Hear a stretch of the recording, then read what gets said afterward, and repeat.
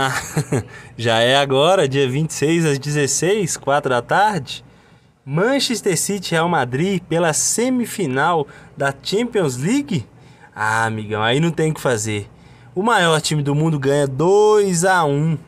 Dois gols do Benzemago, Benzemito, que vai ser bola de ouro dessa temporada. Pode anotar o que eu tô falando aí, viu, galera? Aí não tem o que fazer.